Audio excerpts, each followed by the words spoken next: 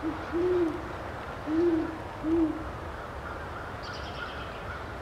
Charles have been a little quiet last couple minutes.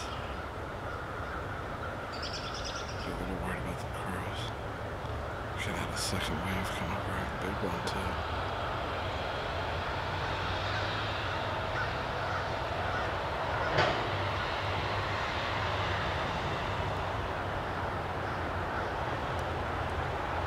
Mm-hmm.